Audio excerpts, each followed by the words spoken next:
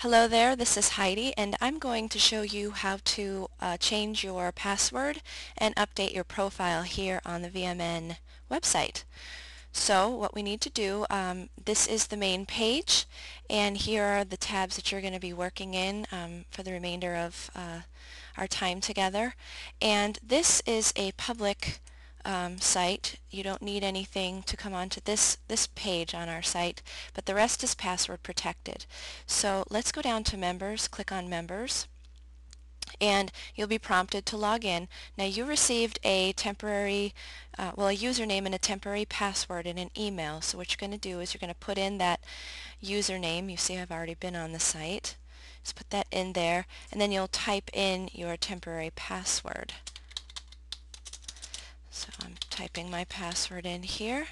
And then I always click the remember me because then I don't have to type it again. But um, you can go back and do that when you log in again. So here we are in the members section. You see um, the active users are in here. You want to find you in there. You'll already have a profile in here. You're going to have to update it. So here's the one I'm using. I click on the red title right here and that'll bring me to this screen where I can do a whole lot of things with my profile but what I want to do right now is change my password. Uh, just take note here that you can put updates on how you're doing kind of like Facebook um, and that'll go on the news feed for others to see. It's, it, it can get pretty fun. So click on settings and um, you'll see it'll ask for your current password and then uh, that's your temporary one and then you'll make up your own here and then you'll have to repeat it here and then save your changes and that's all there is to it.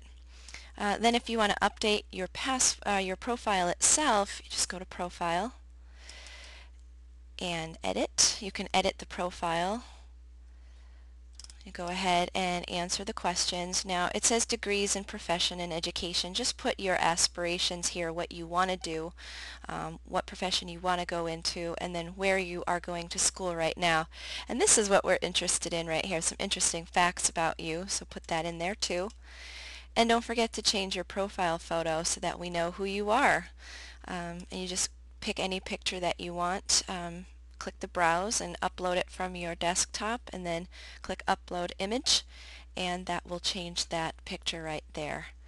Um, that's all there is to it. When you want to log out of the site you uh, go to up here Howdy Test User and log out. Um, if you want to check on the news feed you click news feed. So go ahead and explore once you've logged in and changed your profile and um, we'll see you on the blog.